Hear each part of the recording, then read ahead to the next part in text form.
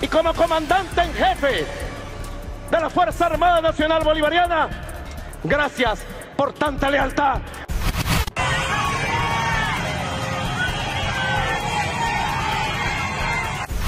Militares de la FAN han reaccionado a favor, señores, de la dama de hierro de María Corina Machado. Se habría hablado algo que es un secreto definitivamente a voces. La FAN va a apoyar a María Corina Machado y a Edmundo González Urrutia, así como lo están escuchando. Ellos habrán visto que esta transición y van a seguir, señores, sirviendo a la patria y van a tener un mejor salario. Sus vidas van a cambiar y van a mejorar, por supuesto. Y eso es algo que ellos mantienen bastante callado. Hay mucho temor, señores, y ellos ahora tienen que tratar de ser lo más neutral posible, aunque sabemos que Padrino López invente, él sabe muy bien que le mandan a decir cosas. Y por qué, porque Edmundo González ahora llegó a la Guardia Nacional Bolivariana en La Guaira para saludar a todos los funcionarios militares de alto rango. Les envió un mensaje bastante contundente, señores, un mensaje de transición y eso es para que el régimen de Nicolás Maduro, señores, vea que es una provocación, él lo ha dicho, por supuesto ahora Padrino López no tiene otra cosa que decir, ellos saben y que y se les está olvidando las leyes, señores, están pasando por encima de la constitución, ellos no pueden estar diciendo que son vencedores para siempre y que viva Nicolás Maduro. Esas son cosas que no se pueden dar ni decir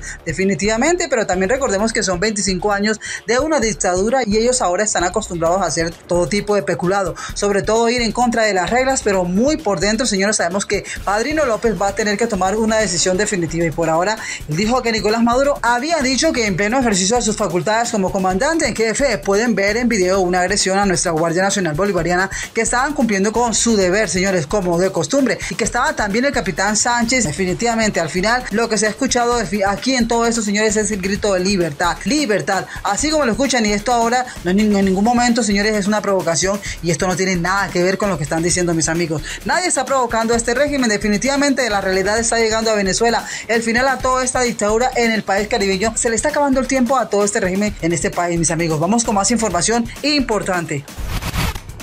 Y como comandante en jefe de la Fuerza Armada Nacional Bolivariana, gracias por tanta lealtad, gracias por tanto apoyo de los militares venezolanos. Nunca me han dejado solo, hemos ido juntos a todas las batallas y hemos ganado juntos todas las batallas.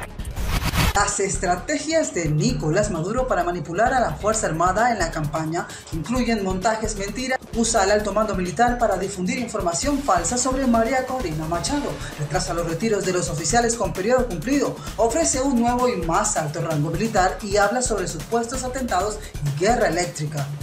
Con más de la información porque a medida que se acerca el 28 de julio, día de las elecciones presidenciales en Venezuela, los sectores políticos y civiles del país se preguntan qué hará la Fuerza Armada si el régimen venezolano impone resultados que configuren fraude electoral. Nicolás Maduro está usando al alto mando militar para difundir información falsa sobre María Corina Machado, retrasando así los retiros de los oficiales con periodo cumplido de 33 años, ofreciendo un nuevo y más alto rango militar, además de supuestos atentados y guerra eléctrica Gobierno con tanta debilidad del mandatario en su aspiración de reelegirse ante los adversos resultados que tienen las, las encuestadoras más serias del país, de la fallida asistencia en las concentraciones que hace el Diosdado Cabello y los hermanos Rodríguez, aunque movilizan gran cantidad de autobuses y obligan a los funcionarios públicos a asistir con la amenaza de ser castigados si se niegan.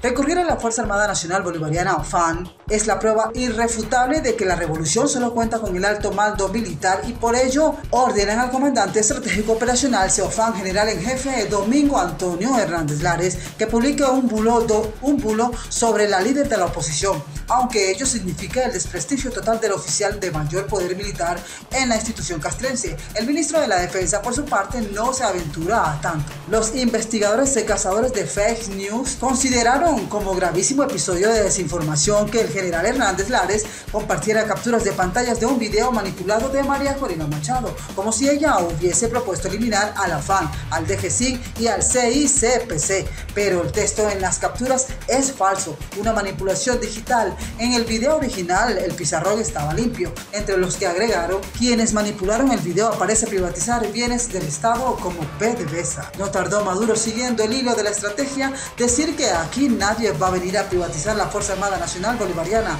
a disolver la, la Milicia Nacional Bolivariana, a licenciar a la Guardia Nacional Bolivariana. Aquí nadie va a traer a los gringos para que sean jefes. En Venezuela mandamos nosotros los venezolanos y en la Fuerza Armada nuestros militares patriotas. Oligarcas temblad, que aquí hay militares para defender la patria y la, revolución, la revolución bolivariana del siglo XXI de nuestro comandante Hugo Chávez, agregó Maduro ante una concentración de militares y cadetes a quienes les dijo que construyamos una poderosa alianza cívico-militar policial. Aunado a eso, Nicolás Maduro también, Delcy Rodríguez y Diosdado Cabello pretenden imponer que la oposición tiene planes violentos con miras a las elecciones, lo que resulta no creíble, cuando por primera vez en muchos años hay un candidato único de la real oposición y para complemento ha surgido el liderazgo de una mujer que anda por las carreteras y ríos de Venezuela acompañada de masas populares. Maduro dijo una vez más durante la celebración del Día del Ejército, tengo información de primera mano, comprobada con videos sobre las conversaciones secretas de la derecha preparando una ofensiva contra el sistema eléctrico nacional, una guerra eléctrica para ocasionar un evento en el país que, que sale del clima de paz, tranquilidad y la felicidad que está caracterizando al proceso electoral. Según el mandatario, ya hubo ataques al sistema eléctrico en Nueva Esparta, Guarico y Zulia, asegurando que el autor material del hecho de Nueva Esparta indicó que recibió un pago para ejecutar el saboteo con miras a las elecciones. Están capturados, procesados, convictos y confesos, habría asegurado. Los capturaron, están presos. Pido a la fiscalía todo el peso de la ley porque esto es un acto terrorista que le metan todos los años que dicen el Código Penal.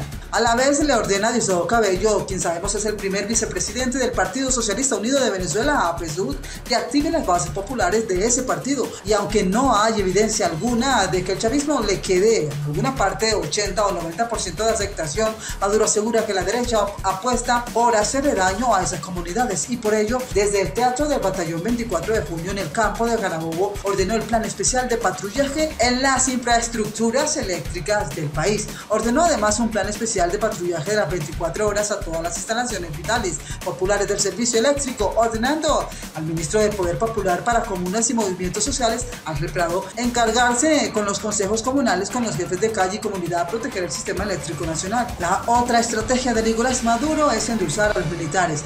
El ministro de la Defensa, Vladimir Padrino López, habló de la condecoración Orden Militar GJ Rafael Urdaneta, explicando que se le darán a quienes pasan a retiro por tiempo de servicio con conducta intachable. Y mis amigos, tienen otra información importante. El partido Movimiento al Socialismo instó a Nicolás Maduro a dejar de amenazar a la oposición. La vicepresidenta del MAS, María Verdeal, indicó que decir que la oposición no volverá a la presidencia va contra el principio democrático de la alternabilidad en el poder. El partido opositor de Venezuela, Movimiento al Socialismo, al Socialismo MAS, exhortó este martes al dictador Nicolás Maduro a dejar las amenazas contra la oposición a la, a la que, la, a la que el líder a la que el líder chavista acusa de supuestos planes de sabotaje, de intento de golpe de Estado y de buscar que se organicen protestas violentas, entre otros, e insiste en que el antichavismo no volverá. La vicepresidenta del MAS, María Verdeal, indicó que decir que la oposición no volverá a la presidencia va contra el principio democrático de la alternabilidad del poder.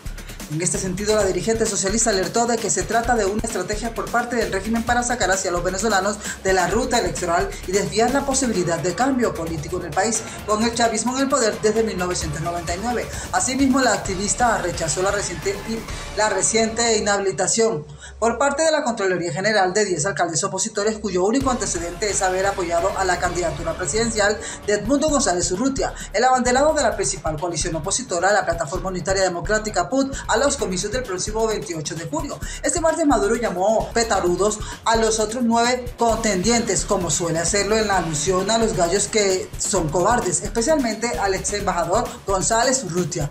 Patarucos llegarán a Marte, pero al poder en Venezuela no volverán. Óiganlo bien, no volverán, remarcó el jefe de Estado, quien además pidió cuidar las instalaciones eléctricas de la guerra, que insistió mantienen algunos dirigentes de la PUT a la que tilda de extrema derecha fascista. La ONU confirmó el envío de una misión de expertos. En otro orden, la ONU también confirmó este martes que enviará una misión de cuatro expertos electorales a los comicios del, próximo 28 de julio en Venezuela, en los que Nicolás Maduro buscará una reelección, mientras que el principal candidato opositor, Mundo González Urrutia, aspira a poner fin a los años del chavismo. Los invitamos a que se suscriban al canal, compartan el video con sus amigos en las redes sociales, activen la campanita de notificación, le den like. Gracias a todos por su gran sintonía y chao chao.